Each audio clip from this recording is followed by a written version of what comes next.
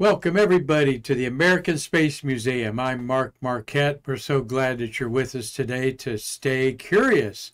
Marty's back in the saddle here, running our Streamlabs program. Hi, Marty. Hello, Mark. Chime in there. We got a good choice on this green screen here. We've got the streak shot of Crew Dragon 6 returning from space uh, at about 12. This would have been taken about 1210 uh, Sunday night, Saturday night, Sunday morning.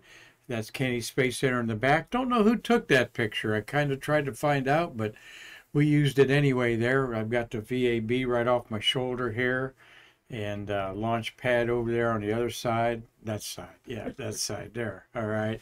So hope that you all missed us over the long holiday. We missed you. We're back in the saddle here. We went out to the Space Center and saw the premiere of A Million Miles Away, the documentary uh, drama of astronaut Jose Hernandez, who went from a migrant farm worker to an astronaut. Uh, we're going to tell you a little bit about that movie, and we're also going to feature some of the shuttle shuttles of the month of September. We're going to kick that off here on September 5th. No shuttles launched until uh, from the 1st of September through the 6th, and that's kind of unusual that we don't have a, we've got an opening there where in history none of the 135 shuttle missions were in the air, so to speak, orbiting Earth. So, um, so we're glad to be back here. Let's let's check it out here a little bit. There, let's go with the um, kick it off here on Stay Curious. Of course, I want to remind everybody that we're your proud nonprofit that celebrates the birth of the American Space Museum the American Space Program right here in our museum. We call it the delivery room of our space program. And if you wish to help out our nonprofit, as you're watching on YouTube, there is a a contribution button along the bottom down there that you can push, and they've got a uh, five dollars to up to five hundred dollars you can give us just by pushing a button there too. And thank you very much. We've used your money to improve our podcast here.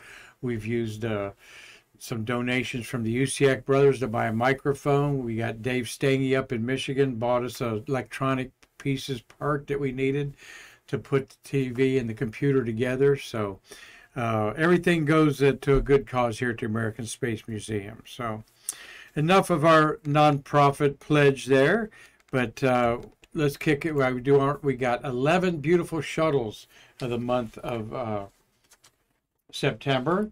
And let me grab my little notes on them here.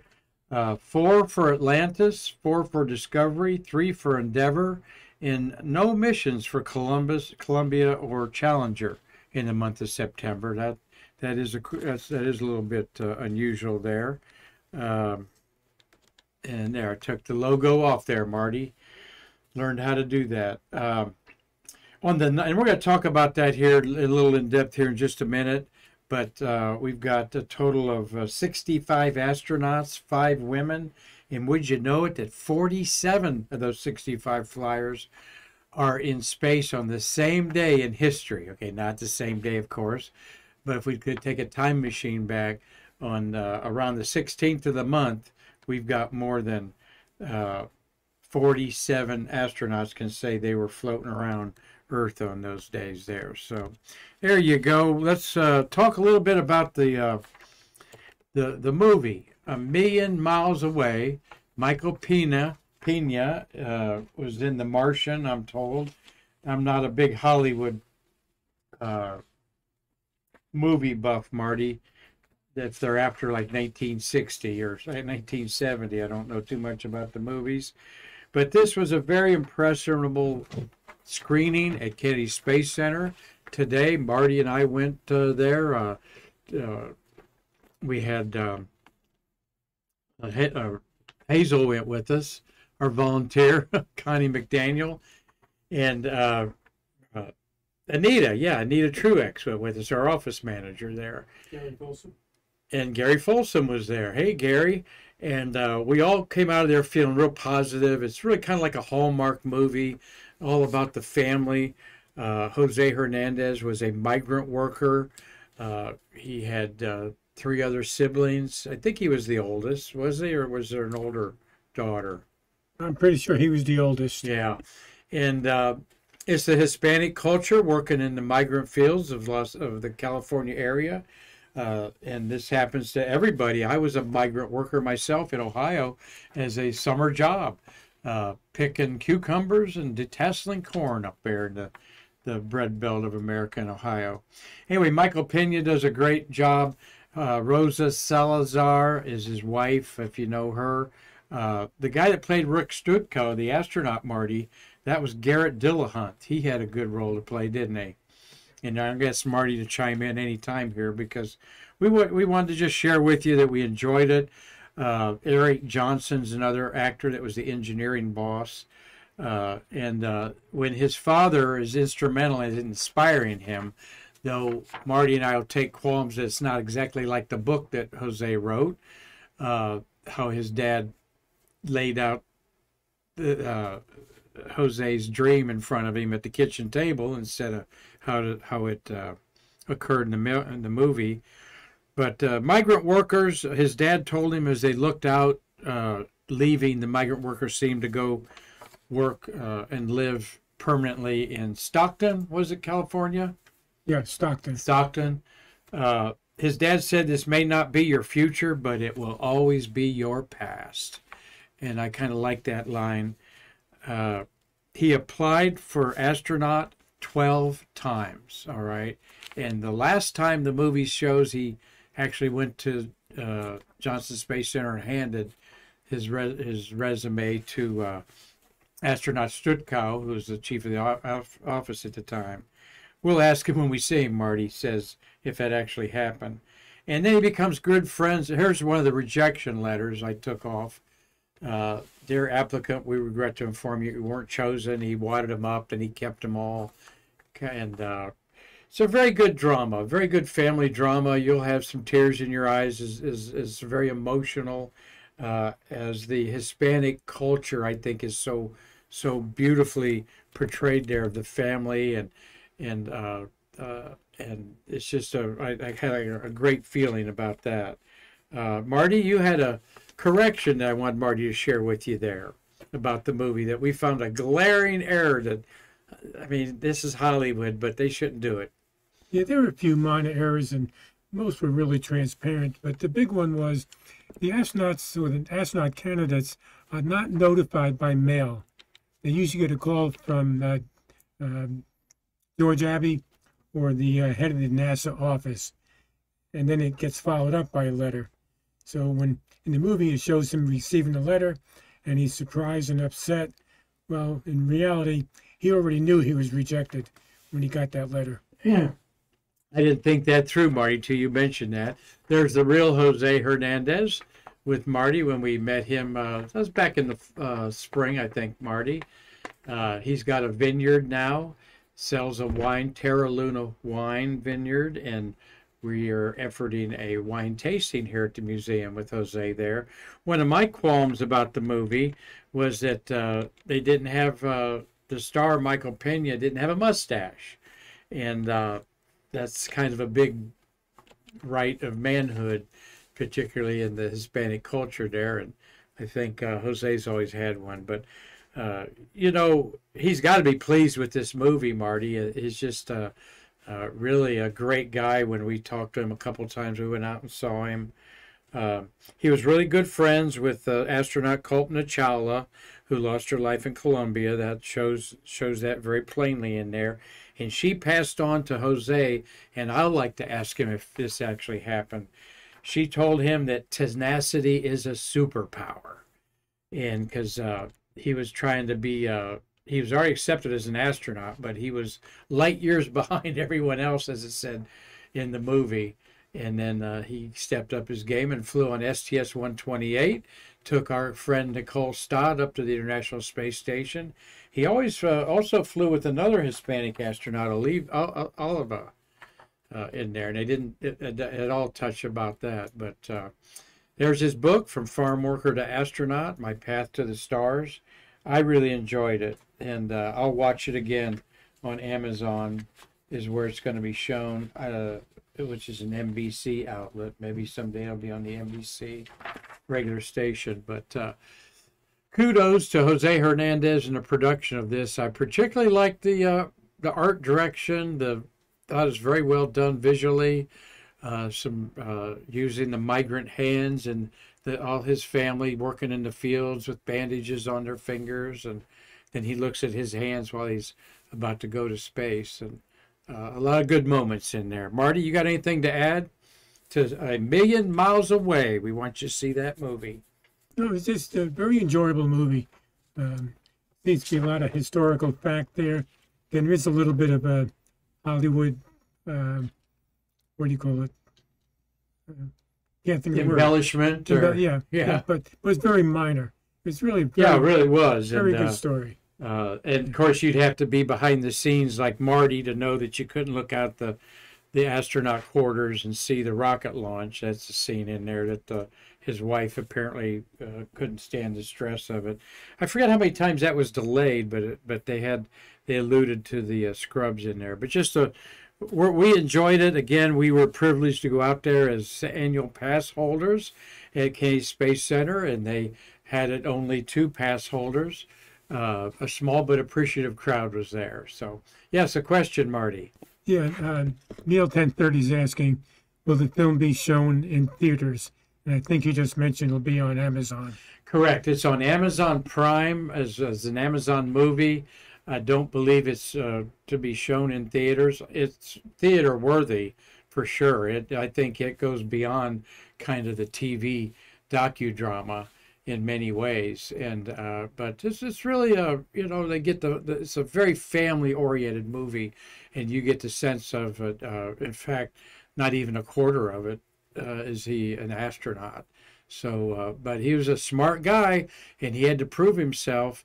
And yes they touch upon that that he was hispanic and that uh, there's a scene in there where he's definitely uh, mistaken for uh, a job that would be stereotyped for Hispanics. I'm not going to give that away, but uh, anyway, a, a very uh, very touching movie, and I think it drives the point home too about whatever you want to do in life, don't get off of that. You can be who you want to be.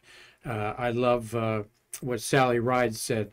You can't see, you can't be what you can't see, and that is all that Jose Hernandez saw was that he wanted to be an astronaut, and it took him 30 years of dreaming to do it. So we recommend the movie. It is uh, a million miles away. So thank you, Marty, for your contribution there. There you are with the man there. We can't wait to see him. Hope he's out there this this uh, winter. All right, there's the beautiful streak shot. Uh, cameras open for about two minutes probably to go across. I did not get out and see it. I saw a beautiful rocket launch off the Cocoa Beach on a Sunday night, but uh, didn't go out and see this uh, landing. Started watching on, uh, forgot about it actually till I, I go, oh, man, it's after 12 o'clock. And put on the NASA channel, and there you saw them bobbing in the ocean. Well, I saw it landing in the infrared lights and so forth.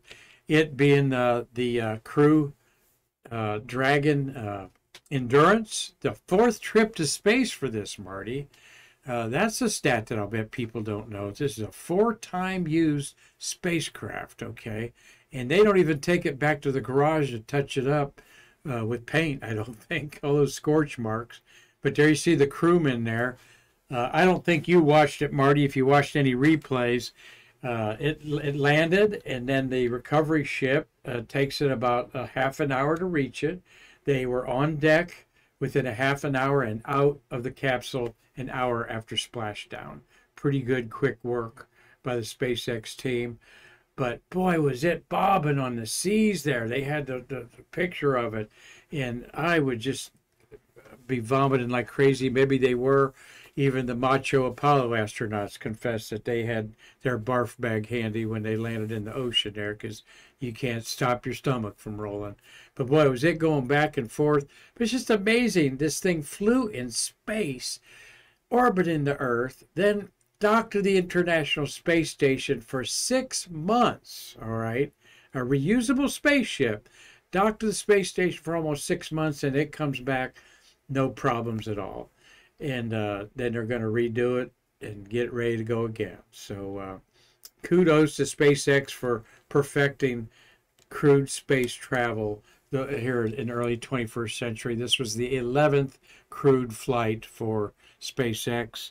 And uh, of course, the astronauts were uh, the uh, Russian on board to the left. You had Woody Hoburg. You had um, Steve Bowen, uh, the commander on his third flight. And you had the Sultan uh, from uh, United Arab Emirates. And like the Sultan said, we all went up as astronauts and friends, and we came back as brothers. And that was kind of emphasized a little bit in the movie, Marty, that you go to space, you're everybody suddenly changes that, that their attitude that now we have to help each other survive in this worst hostile environment of all time. So uh, I've never really commented about the SpaceX suits there, Marty. I, I like them, except I think the the boots are way too much. Uh, that, that's uh, they just need ankle boots. I think they don't need the calf boots, do they? Really? but it was fun to watch them extract them. I got mesmerized by it. If you did too, they actually took out the the, the seat. Uh, foot pad uh, holders there to make it easier to get them all out. Plenty of room in that thing. They had two doctors in there checking them out while they're still in their seats there. So uh, kudos to them. Glad that they're back. I tried to find a picture of them in Houston and, and hadn't yet. So, also in space news history today is uh, the mission's over for the India rover Pragyan, and uh, the uh, lander is is not working either because they went into the darkness of the lunar night. So uh, there's one of the last pictures of it. You can see a little video where it does a little circle around, kind of triumphant circle, and then they park it so that the solar panel is going to face the sun when those first rays of sunlight hit the South Pole in about two weeks. Yes, question, Marty, or comment? Yeah, I got a question from Bill Whiting. Could you hear the sonic boom along the Space Coast when Crew 6 returned? Good question, Bill. No, nobody heard it. We were too far away here, but I know some people up in the uh, uh, St. Augustine area said they heard it uh, up there. Marty, did you hear any reports of it? No, I haven't heard anything. Yeah. Uh, well, Marty gets up at five in the morning, so when they have a morning launch, he'll hear he'll he'll be giving you the report there. But uh, but no, it it was uh, that good question, Bill. No, we did not hear the uh, the boom, but uh, they heard it up as this uh, landed off of Jacksonville in the Atlantic Ocean. Uh, what a nice setup, whether it's in the Gulf of Mexico by Pensacola Naval Base or over in Jacksonville, there's a big naval base, they got it covered. So, uh, uh, and and like I said, I got fascinated watching the whole whole situation with the SpaceX team uh, handling this spaceship. Uh, you know, like I said, orbiting the Earth, docked to a space station six months, then it's floating and bobbing like a gumdrop on the or marshmallow there on the ocean surface. Quite quite a vehicle. And uh, yes, we, right. So no more of the India rover. Okay. Uh, they don't think it will survive. It might. It's going to get 200 below zero, and uh, uh, and you know it could. They're just unexperienced with all where their technology survived the winter.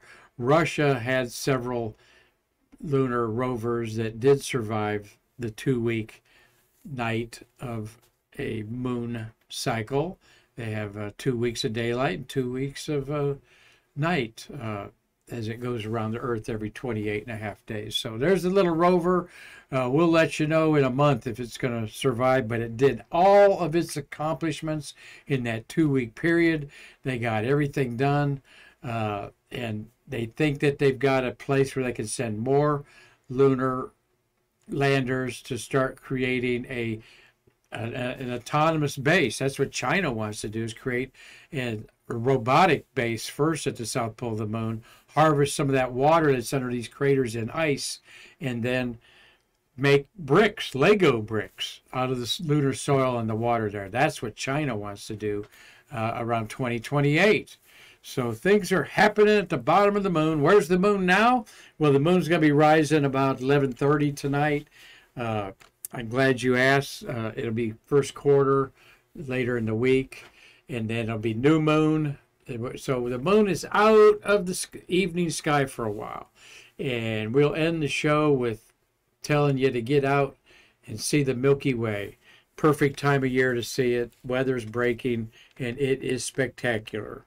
So, well, we got the India on our mind, and this is a newspaper clip uh, that uh, uh, uh, Connie McDaniel sent me this sunshine moment as India launches a mission to study star. And in the newspaper headline, I'm going, scratching my head, going, "Star? What's what star is it going to study? It's going to take uh, a hundred years to get to the nearest star, uh, at, at, at, ten times the speed we can go now. Uh, it'd take a thousand years to get to the nearest star, quite frankly, or longer. That star is the sun. India has sent a good new mission to the sun to study uh, some of the surface features and so forth, like hasn't been done from space. So good for them. India's space program is on a roll, and uh, Russia's isn't after their failed Luna 25 uh, mission. Uh, heads have been rolling at Roscosmos. It's been a serious uh, hurt in the Russian pride that they didn't, that their rover didn't work on the moon, and India did. So uh, watch India as, as a big, uh, up and coming player. They're getting a little criticism because of the spending money on space and the poverty in the country. Well, we've heard that before. And if you don't go to space, how are you going to create the means for to get out of poverty? You've got to educate your masses, and you've got to have programs of STEAM, science, technology, engineering, arts, and math for those kids to learn and and uh, work themselves out of poverty. All right, we're going to step back in space history a little bit here on today's mashup. Uh, when I uh, had the word mashup, Marty goes, "What's mashup mean?" And I think he was hoping it had something to do with some potatoes, right, Marty? no. No, I was hoping it's the movie MASH. Oh yeah, there you go.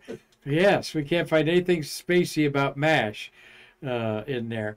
Well, on this date in space history, September 5th, 1977, a Titan 3E rocket uh, with a Titan second stage blasted off Earth for the outer planets Jupiter, which it encountered in July 79, two years later, and Saturn, uh, three years later in November 1980. Now more than 15 billion miles from Earth, four times the distance of Pluto, 46 years later, Voyager 1 is still phoning home. It takes 22 hours for a radio signal to go from Voyager across the void of space to Earth. And uh, it's still going 30, almost 40,000 miles an hour, is the most distant object ever launched from Earth. How many objects, Marty, are left the solar system or leaving the solar system that we have uh, launched, of all the satellites we've launched, there's only a handful that are leaving the solar system. I'll tell you how many in a minute here. Marty, you think about that. That spacecraft someday, maybe 10,000 years from now, maybe a million years from now, will survive, and on it will be these two discs that were put in a case with a needle to play the picture disc. The left disc is a bunch of physics that a intelligent creature would figure out the carbon atom at the bottom. You've got some radioisotope stuff going on there. You've got uh, uh, kind of a uh, uh, electromagnetic spectrum laid out there for them. People would understand maybe what this is all about if they got it, and then they'd take that needle. We didn't put a turntable in there with them. They'll have to figure that out. And the sounds and sights of Earth there on that LP long plain gold disc. This was the brainchild of uh, Carl Sagan. Carl Sagan was the popularizer of astronomy in the 1970s. Uh, think Neil deGrasse Tyson, who's a popularizer of that now, the planetarium director in New York City. Neil deGrasse Tyson does a great job talking to the masses about uh, the complexities of space and uh, I'm sure you've probably seen him do some things. Um, just, I mean, I think someday Marty creatures will intercept this spacecraft. There is five spacecrafts leaving the solar system.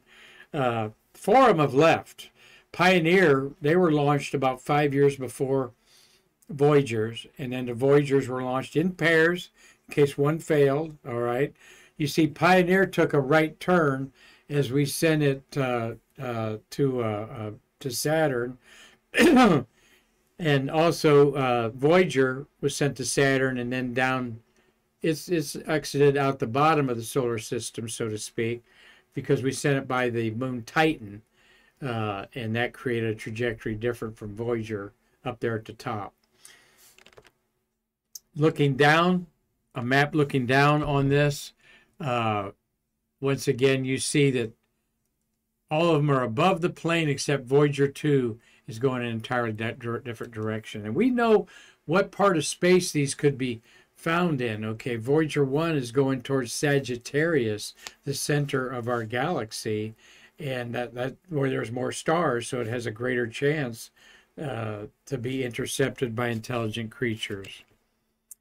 And uh, there's uh, oh, that's kind of funky over that. These missions were done in the 70s because they took advantage of a rare alignment that happened every 200 years of Jupiter, Saturn, Uranus, and Neptune being in a line that gravity assists could go by them. Although Voyager 2 went by uh, uh, Uranus and Neptune, Voyager 1 did not. and there's an artist rendering of the spacecraft.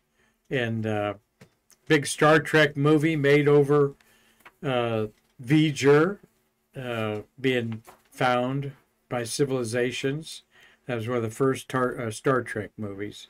Uh, has that. So uh, the gold disc uh, again has uh, Wolfgang Mozart, Blind Willie Nelson, Chuck Berry on there, along with other Western 50 classics, 55 languages. All right, and yet someday, if found by intelligent life, they will know all about planet Earth. Well, something of this earth. Who is this, Marty? Got a guess? No. That is Wernher von Braun. The, at age 56, the six foot one inch tall Marshall Space Flight Center director on September 4th, 1968, performed a full pressure test suit test uh, in a Saturn V workshop immersed in the neutral buoyancy tank we're at Marshall Center. This test was for Skylab project in a future space station. Okay, this was 1968, still dreaming of the man orbiting laboratory. And after being submerged in the Arrowhead Products pressure suit, von Braun reported that the upgraded seals used in the aft dome penetrated penetration sealing study were very good, and he recommended additional handholds and tether points on the outside of Skylab, something that all the space stations after employed on there. So there's von Braun in the water tank as the director there. And, um, oh, I didn't put the picture of, oh, yeah, this picture of him there, that's astronaut Gordon Cooper with his hand checking the fabric out there. He'd already been in space twice, and he was uh, there to see this test. Von Braun had done a tank test before on this. Uh, and you got to love a guy that uh, look. Uh, I'll do what the what the workers are doing, what the worker bees are doing. Though I'm the the head of this place. Uh, give me a spa- give me a spacesuit and put me in the tank. So uh, von Braun also uh, was no stranger to the Vomit Comet. There he is up there. Uh, and uh, I like that about the guy, Marty, that, that he was hands on. And you know, Marty, of all the space worker famous people that you and I have heard about. Some of them you've even worked for. Uh, this is a universally beloved leader, okay? There are great stories from the worker bees of him coming down to the lunch cafeteria at Marshall and sitting down arbitrarily with the gang and, and eating his meal with them. Uh, and Marty, you and I've talked a lot about some of the muckety mucks, as, as some of y'all call them, uh, some of them, yeah, they they worked the hands a little bit of some of their workers, but they didn't get in the back row, right, Marty? And uh, so, uh, but uh, what, what you got a comment about von Braun and my enthusiasm for his hands-on approach? Nope, sorry, I don't. Okay, all right. Well, I don't want to get you in trouble with any of those old muckety mucks either. But it's true. Uh, so you'd be kind of be surprised at some people that just didn't uh, stay out, uh, that didn't get down to the the shirt sleeve workers in there. But this guy did. So, uh, and that's why the whole program was a big success. Well, let's look at some of these shuttles of, uh, and we'll look at them all month. You know, that's a feature, feature that we love to do on Stay Curious is honor our shuttle program like none other. Uh, we're glad today we got uh, Jerry Gary Gerald watching, uh, Doug Forrest, Bill Whiting, Neil 1030, Tom Usiak, and Carlton Bailey watching today. We appreciate that, guys, following us, guys and girls that are watching us today. Well, Space Shuttles of September, like I told you, 11 total. It's weird that Columbia and Challenger didn't have any flights at all. We've got uh, two Mir missions there. Um, and uh, let's see, which, one? Well, let me look at my chart here. The Mir missions are, of course, 79 and uh, 69, I think was a rendezvous. You got two ISS hard hat missions uh, where they did a lot of work on there. That'd be, uh, and then you've got uh, five science payloads. Okay, this is actually a light month for for hard hats. You got 106 and 115 uh, up there, the far top right, and then the second one in but five science payloads. A TDRS mission uh, was launched, and one Space Lab J, and that would be the Japan Space Lab in the middle there, STS 47, with the uh, first African American female, Mae Jemison. There, you had important return to flight after Challenger STS 26 happened in the month of September 1988. We will be talking about that. And uh, Mikey Haddad has already told me, Marty, he's going to feature STS 68, the uh, SRL, the radar mission that uh, has did such a topographic radar of our Earth that that is what is on your Google Earth products out there is what this STS 68 did 1994. Uh, that that data is still being used today. So uh, uh, the upper atmosphere research satellite, STS-48 there, the triangle in the middle left, that's important baseline of what we know now about our global climate uh, situation there. So uh, we're going to enjoy looking at these shuttles of the month of September a little more in depth. Of course, as we always do on Stay Curious. Uh, now get Wernher von Braun flying up there. Uh, this uh, is actually a mistake that I put in there. Shuttles of September. Now, Marty, I couldn't find my notes on this, but I do have an ulterior motive here. Is we have a bunch of five albums, five different shuttle missions. What would those albums have in common? Songs, right? So these are the wake up songs of these missions, all on one day in September. So stay curious because we will find out what wake up songs. We could guess "Lady in the the uh, the Lady is a Tramp" maybe. Uh, what would be uh, is would be the song off "Lady and the Tramp"? How about the song off "Hotel California" uh, that STS 115 woke up to? Uh, maybe "Life in the Fast Lane." Uh, Perry Como. That's probably a, alludes to a star or something and the uh, what marching band does that say? University of Connecticut yep. marching band. And then you've got the uh, upper left, the bare necessities, okay, from Jungle Book. So uh, stay curious, and we'll tell you what date and what songs were played as wake up calls to the astronauts. We used to play the wake up calls, Marty, but we got busted for that uh, on YouTube. We don't know how to make it not a bunch of sirens go off like we're ripping them off. We thought you had 20 seconds you could have a bumper music with. But anyway, so we'll tease you with that. Stay curious. Wake up songs on what day of September were and what songs off these five albums. So, well, at first this might look like, oh no, this looks like a crazy chart. And it is. At the bottom is the days of the month. At the top left are the number of shuttles launched 11 shuttles in the entire month. But as you see, the first six days of September are blank, no shuttles at all. This is quite an anomaly. Actually, I don't think the 31st of August had a space flight or anybody in orbit. All right. Usually there is someone in orbit on this time in history uh, on any given date. Uh, something's orbiting in the shuttle. And of course, if you go to the Mercury, Gemini, Apollo, you could probably fill in a blanks. But first month, first week of September, no shuttles were flying in the air.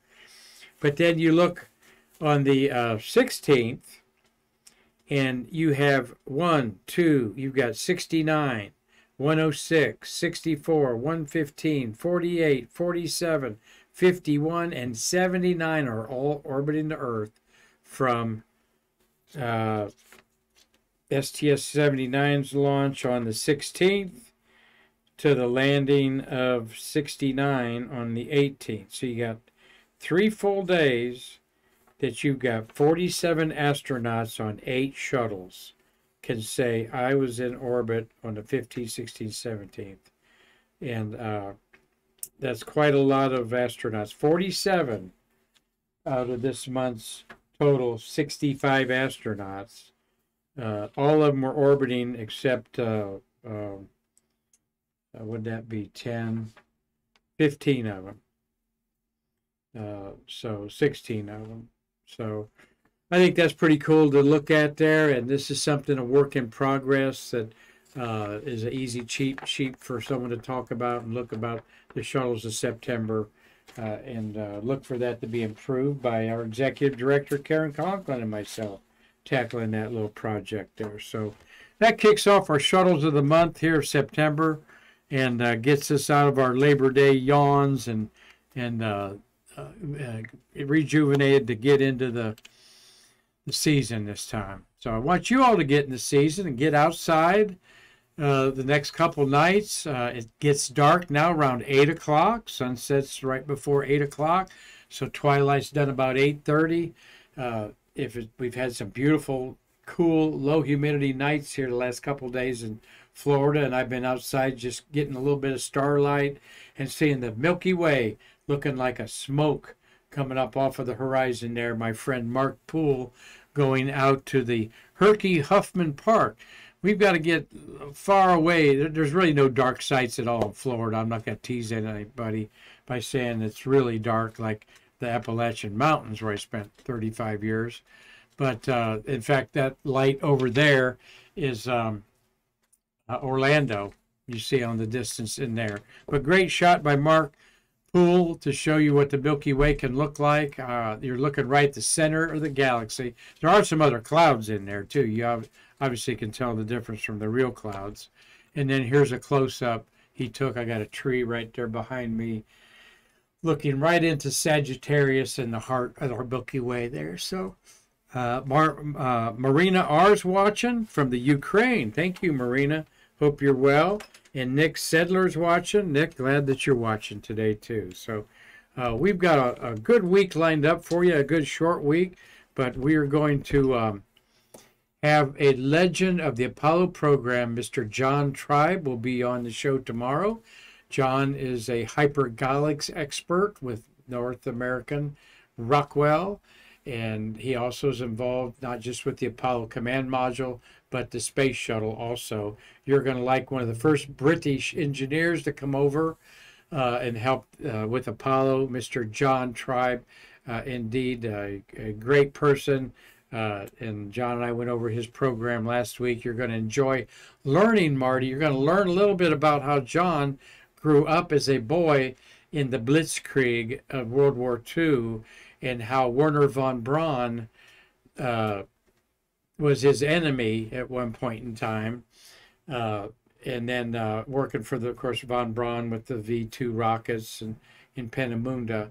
And then he remembers walking out with the great von Braun after a scrub of a rocket launch and saying a few words to each other. So you're going to enjoy Mr. John Tribe uh, tomorrow on Stay Curious. And Friday, we've got uh, Ralph uh, uh, oh, Ralph's last name, I just forgot. Ralph worked for Grumman 30 years ago on a radioactive spacecraft to go to Mars in about six weeks. Ralph Palmer will be our guest, looking back at the past of nuclear reactors and spacecraft in the future on Future Friday this week. So, Marty, you got something else to add?